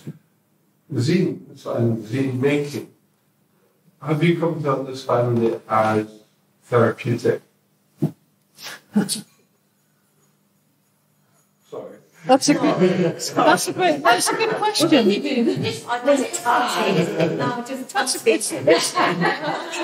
It's, whatever word you. Yeah, I know. I think. Um, Sorry. No. What, what are the words you, you think? You know. yeah, I think. I think it depends what you mean by therapeutic. That's a classic academics answer, isn't it? Depends what you mean. How do you define it? But I think. I think it's a, it's a good point because I think it's easy to say it can be therapeutic, but it can be quite traumatic making a zine as well. It can be very, very difficult to make a zine. It can be quite makes you very vulnerable, makes you is quite exposing. Um, but then so so's therapy as well. So I guess I think what worries me about the question in a way is not the question that you've raised. It's more that it's when services get hold of Yeah. zines, they start to say, and we've seen it already, oh, let's do zine making workshops in hospital. Let's do zine making workshops. Yeah. And that might be a great thing, you know, but it, it kind of, there's something then about it being used as therapy, rather than it being therapeutic, which it may be for some people, but there's a difference between that and it being used as a tool for therapy that's then people are made to do sort of thing. But I think, I guess it can, it brings up, I suppose it bring, can bring, if you're doing a Perzine, personal experiencing, it's going to bring up a lot of difficult experiences. Well, the second part of my, my, my question might be the except I am that stronger. Um, um, so I'm, I'm interested in, uh, in grief and work done around grief. Uh, and uh, I was interested to find a guy called uh, Ken Doka who looked at uh, unacknowledged. Uh, and uh, looked at, for example, dairy contact context, like people emotionally, psychologically, and physically suffering because of bottom whales has been hunted to extinction in Canada, but they don't live in Canada. But one of the major traumas came from their grief not being acknowledged in the world. It's it's excluded from from consideration. Your your expression doesn't feature. Um, uh, so I, I, I guess I'm I'm interested in looking around in the world for things that are capable of making complex expressions uh, Yeah. without a damned industry and professional uh, of managers who editorialize your experience. Um, so that, that's sort of Yeah, I think that's a really good point because I think that I think that zines often, particularly the new the new type of zines, the modern version, more contemporary zines, are very much about the unacknowledged experiences. Because why make a zine if your experience is already acknowledged everywhere? Why would you need to make a zine about it particularly? There's that urge for recognition that I think zines are in part about and those, like you say, uh, unacknowledged grief. And people were talking about before about like um, intergenerational trauma and stuff that's hidden, stuff that's forbidden, stuff that's um, repressed. Those unacknowledged experiences are, I think, the experiences that, and go back this idea of the crack that lets the light in. Those are those unacknowledged experiences. And how do we acknowledge them? This is a task for us all. How do we acknowledge those? If we don't know about them, how can we acknowledge them? How can we see them? How can we recognize each other if we don't know they're there? Uh, and I think zines are one way amongst many of having experiences acknowledged, and therefore, I think it comes from a, a, profound experience of misrecognition, which I think a lot of madness, distress, neurodiversity mm-hmm. kind of is. It's not feeling recognized, not feeling seen in the world, not being seen for who you are. And certainly neuro, neurodivergency is really that, and that's the whole thing about masking. So, in a sense, themes are like unmasking. I've got a question about that. Actually. So I don't. I, so I've read some zines that I got sent to, and um, now please forgive me for this language. I'm going to say, are they prescriptive? Good question. So, Yeah, are, so- as in, are- do they follow a form? No. no. So I'm, I'm using that word. As, I do apologise. No, yes. So, well, I think the whole point about zines is, is that they shouldn't be prescriptive. But then And they should mentioned about be DIY. contemporary. Yeah. Well, I think what's happening is, is they're becoming institutionalised a bit. So then what happens then is that they are they do get prescriptive. So you now see the NHS making zines, and there are zines on five ways to well-being. Oh, There's zines on everything, there are, but they're not what we would consider to That's be not- zines. But they are. They call themselves yeah. zines. Yeah. So then, I of course, they, they're talking about it like a, a mini magazine, Yeah, yeah, yeah, exactly. Whereas you're talking about a completely different. Exactly, because the whole point of a zine is DIY, handmade, So do they and have- produced. It's they not have an NHS produced leaflet. Is not a zine. Do they have to have so many pages? It might be good. It might have good information in it, but Yeah. it's not a zine. So do they Even if they call it a zine, Do they have to have so many pages? Are they double folded? Ah, not- right. No, yeah, they don't have to be. No, There's no prescription. no. You can do exactly how you want to do it. No, there's some classic ones like mini zines that are like you know one sheet of A4 and then you fold it in a particular way. There's lots of different ways, but there, should, there shouldn't be like this is how a zine is. Most zine workshops have a like let's make a mini zine, and that's the thing. Basically, a zine can be made in so So many it can different be ways. made in so many different ways, that makes complete sense to me because that is about how you get this out. And, it, and then it helps the different sort of cognitive styles. So Tamsin upstairs um, that makes zines a lot, and she made one which has a swirly, which made was so you read it and it swirled around. But I have this um, BPPV, which means that I read it and I felt sick and had to lie down. Sick and sick and lie down. So I can't read anything that goes around in nine circles. That's why I've decided that's like an academic. Can't you go follow like, it like that. you, you don't have to look at it like that. Can't you just go? I tried that. Anyway. How are they, how are they circular? How? So I don't understand. What do you mean that they uh, go round in circles? so a zine that it's, it's, ca- like almost like a Mobius strip sort of thing, but not. So it kind of opened No, it I up and think went round. Oh, I want to I haven't can't show you, but Yeah. We get Sorry, to, yes. Now we get to the time to say thank you very much. Thank you. Sorry. Thank you. Thank you so much.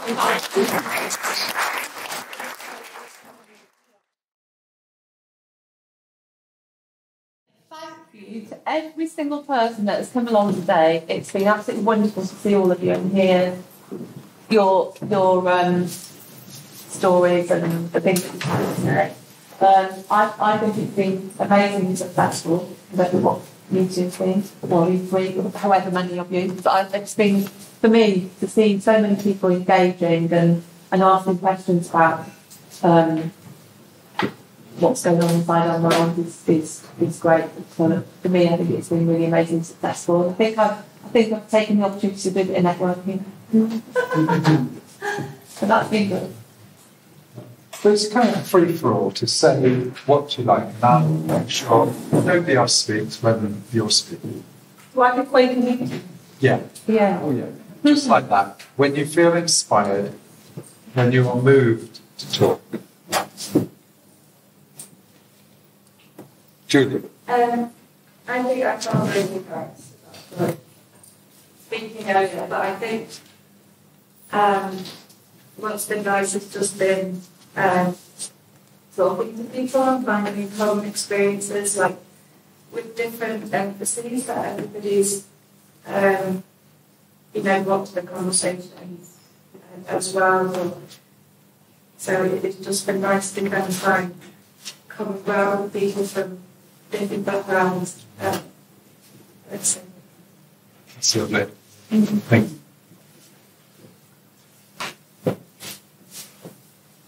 Uh, I really like the fact this, the, well, it, it, I mean, it's really be a comfortable space. Uh, I, I like the fact that there's so much going on. You can go into so many different, it, it, it feels like it could easily be a permanent exhibition. Um, but I really like the fact that in some way, is filtering into what and will reach policy and practice circles, because in some ways, culturally, they're hermetically sealed. Uh, and uh, after many years, you know, hammering those doors, you know, I, I sort of gave up. You know, you- your, fist gets sore, your throat gets hoarse, and people just look at you as a lunatic. because it's frustrating and it's either, you know, you feel irate that you're not being heard, or, uh, and it feels sometimes hard to say critical things because particularly after meeting people within professional settings who are wonderful people, lovely people, do make a difference as best as they can, even though they're hamstrung by the system they're working in. Um, how, do we get uh, past this uh, firewall? And uh, I mean, I know I, I eventually found it in pubs. Uh, people who clock off, hang up their professional garb, and then can have the safe conversations over and confidential. Gosh, that's an interesting. It- it would- You know, and, and I, I think this is this is really great moral. Uh, it, it's uh, it, it speaks to me of a searching society, a searching professional society uh, that, that's ha- happy to be slightly uncomfortable, slightly out of the comfort zone. Because without that, I'm just walking the other way. Um, well, well, well it's lovely to meet so many other people. Love cakes. Yeah, you won't those Just in, in terms of, I mean, I, I love the idea of, you know, it could be a exhibition, but, I mean, which obviously unrealistic. But we are going to try and have an online follow up to today. I think provisionally we said 28th of November. November. Yeah. And um, so that, that certainly there could be some um, uh, permanency within our website about some of these things and magazines, websites, and have you. The, um, the other thing to say was that we had hoped that at this stage of the day, um, Smith had agreed to come with everything that's been happening um, in Westminster. she's, she's, I, I want to pass on her apologies because she was going to be here, but she did apologise that she does need to be elsewhere. Um, but she Did she say that she'll come to the? she will try and join us for um, an online session. So, so that would be a, a, a good way again. Feeding. Cat Smith is the uh, local MP for Lancaster and Morecambe. Morecambe, Lancaster, Morecambe, Fleetwood. Morecambe and Fleetwood. No, sorry, Lancaster and Fleetwood. Yeah. Oh yeah, there's a not a nice man in Morecambe. There's a, there's a hairdresser in Morecambe. There's a fracker in Morecambe.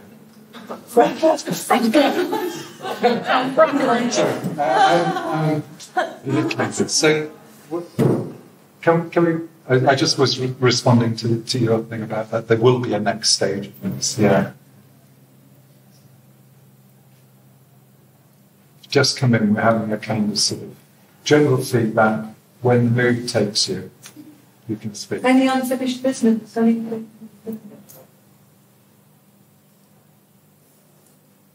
Can I say something? Yes, Lisa. Not unfinished business. Uh, Um, uh, I want to um, thank you all, and um, uh, I learned a lot today, and I'm so grateful for being here. And um, my research uh, involves madness, mental health, and then um, I'm a very important stage, at the very important stage. And then I felt that I talked too much, and then uh, upstairs I just came across um, a zine, and it's about silence, and silence is violence, reasons why silence hurts, some kind of like thing. And then it helped me that because I was uh, self-criticizing myself, and when I see this, okay, I can evaluate things, but I, I mean, it helped me, and um, you helped me, and I shared my story with some of you. And um, other than that, it was for me very impressive to witness how this event is organized. Because I'm a PhD student and I have some sessions that engagement is important, impact is important. And then I was like, oh, how am I gonna do this? And how can I engage with people and what, how this happened? And then I see those notes and then I saw that notebook and I put some marks here and I'm waiting for to see which one is gonna and uh, yeah there are many ways like films and um, pens and um, like what was I mean I made two zines and uh, met wonderful people and I even really appreciate the way you put notes on the cookies that the definition like you cared about people and I, I can say things sometimes so I just want to share. Can, can I add to that? I, I don't think that any of us could expect to uh, co-organise an event with Jill without it being special.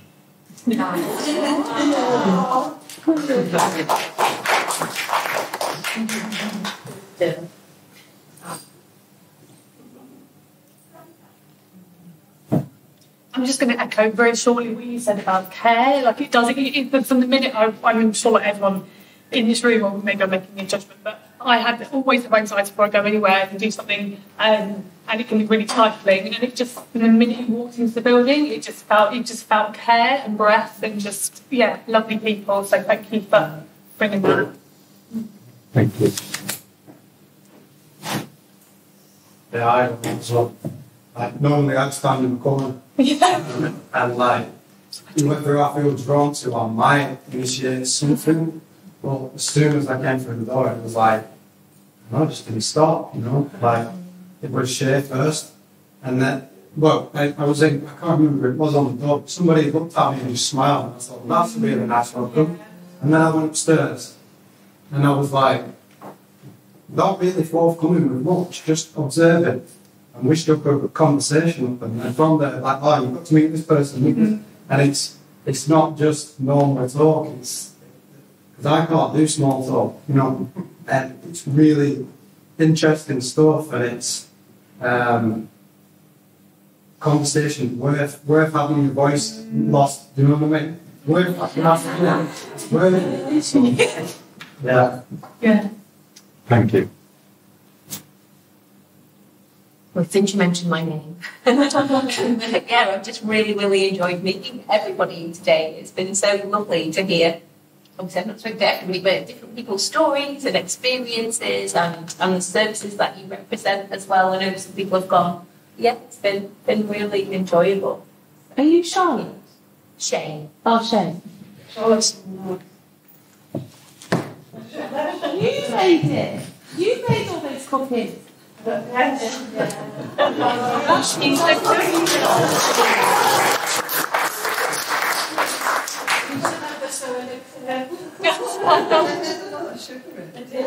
cookies. Magic. Too good. I just wanted to say that I came from Birmingham this morning, so I probably did the right there. Travelling the furthest to come. I was going, oh, nah, okay, well, run up there. um, and it's been lovely. It's been so lovely to be able to, like, say, have this lovely kind of warm, kind of gracious space for people to come and share. There's no, um, there's, we were upstairs making stuff together, but nobody was teaching anybody else how to do something because that person didn't know it. It was very much a case of we'll sit around the table and create together and see what happens. So it's been a really, really lovely, really, very lovely day. So I'm glad, I'm glad I've been. Thank you for inviting me. I've been invited myself actually. um, First time back in Lancaster for 30 years. Thank you. What were you doing for 30 years ago? I was studying here at the university. What year? A long time ago. I was here in 1992. No, no. Not 30 years ago. This uh, yes. I was born in that.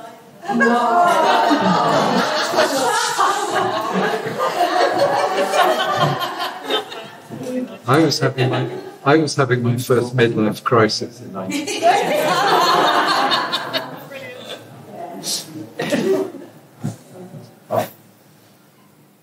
I, I can't really talk. I just trying to keep up everyone who's kind of contributed by sharing yes, and Carol, and well, see everybody wants to a voice like this.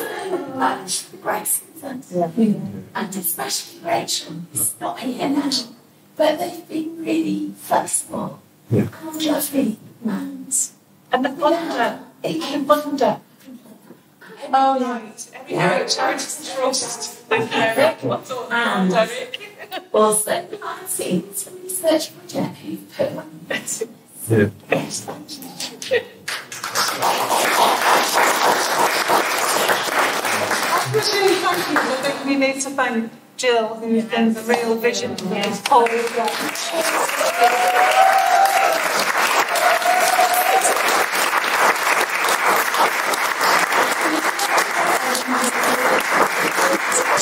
Not surprised you've lost a voice. But yeah, the whole vision and the whole creativity behind it all really, everyone's helped out, and the real vision of it is good. Yeah. Yeah. Yeah. Really need to value that. Thank you, Joe.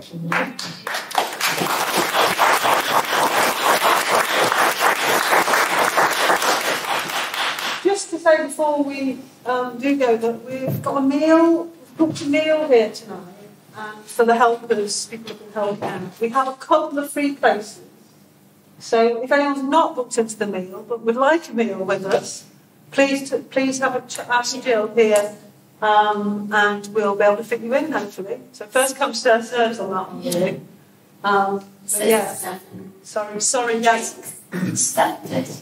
Yeah. Seven drinks to seven thirty food. Upstairs in, in the old bar, which is where the zine meeting was, and the bar will be open up there.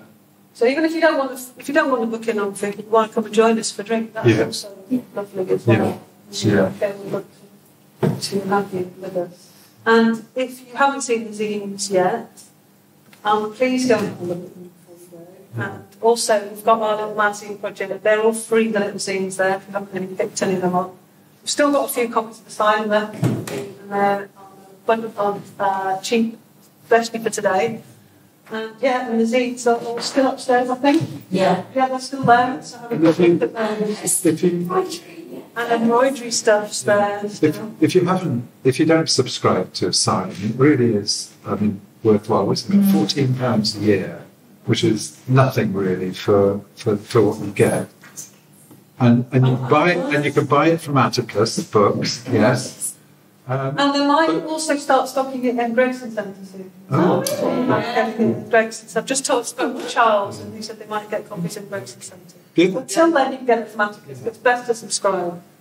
Is that the other, the other bonus, if you live in Lancaster, is that CRAP try to organise a regular meeting where what we do is discuss the latest issue of Asylum. Uh, so, so it gets a chance to read it and then come and talk about it with, with some friends. Yeah, we do Just- just- in person and online as well.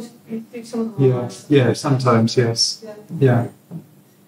So just to plug CRAP, we we've been going for I can't remember now. 11, 11 years. And in my, in my, my, def, my definition of what we do is that we try to start conversations and, uh, and we don't try to do a lot more than that, but, uh, but it's around. when you talked earlier about finding a space in her where you can talk to professionals when they're taking off then I love that. Things that yeah. I think that's kind of part of also what Krampus mm. that people need, not us. They're all Yeah. us. Yeah.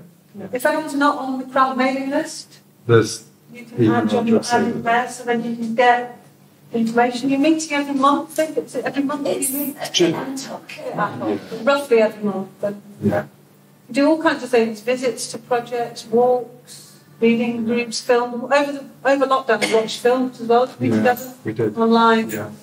We used to, we, we had, just before lockdown, we got a grant for uh, a film club, but then we couldn't meet.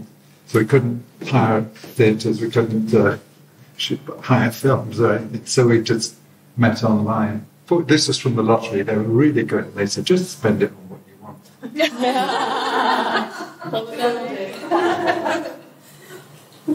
But we, exi- we exist from one £500 grant to the next. So we, we haven't got a bank account. We, we had when we applied to the Eric Wright Fund, was, uh, we, we had to have it paid into the Gregson bank account. So if you want to be in partnership with us, you've got a bank An organisational bank account, not individual. What's the Eric Wright Fund? Bob, what's the Eric Wright Fund?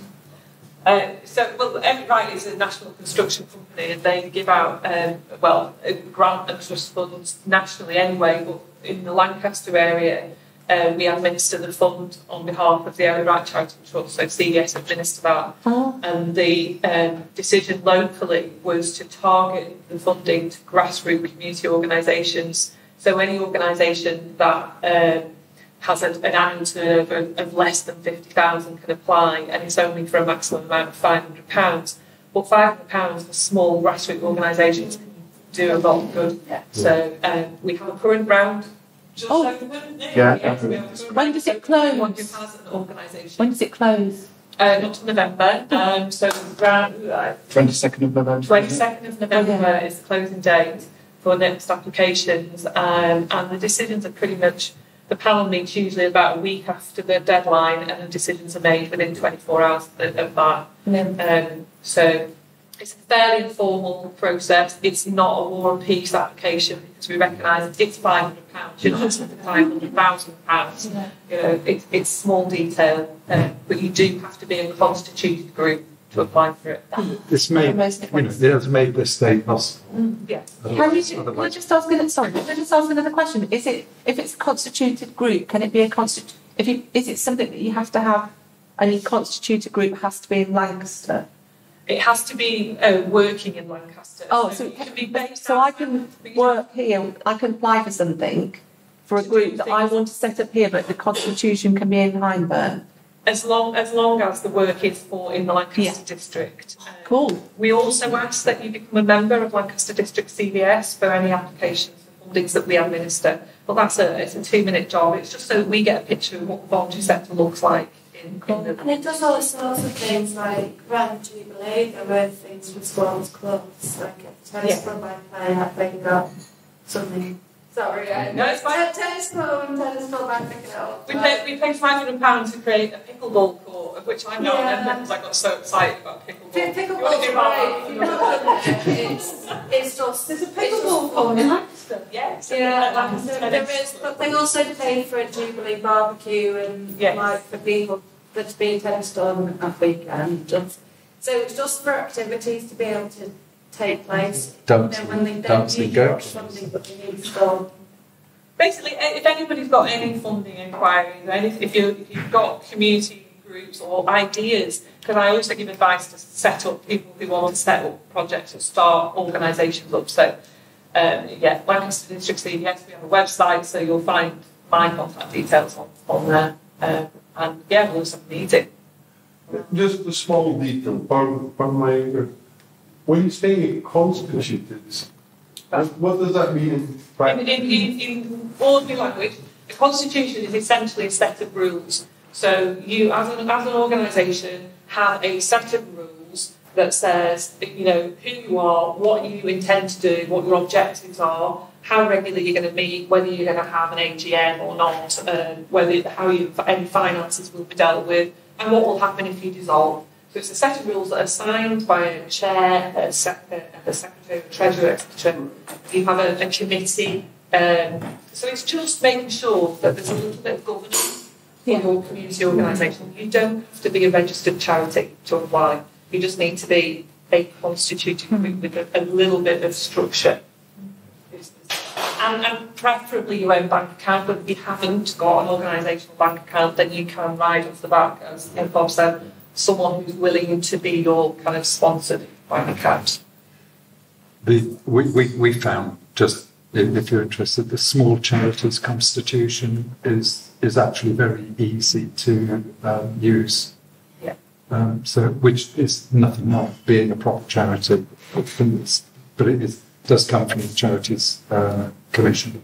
Yeah, I have copies of all of those kind of things as well. If people needed templates for constitutions, whether it be for a small community organisation, a small registered charity, or a larger incorporated charity. So yeah, lots of information you need.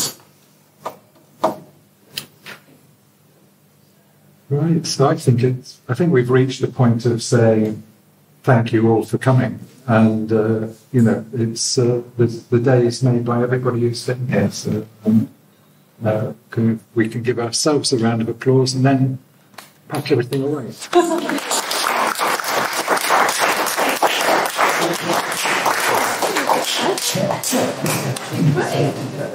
Yeah.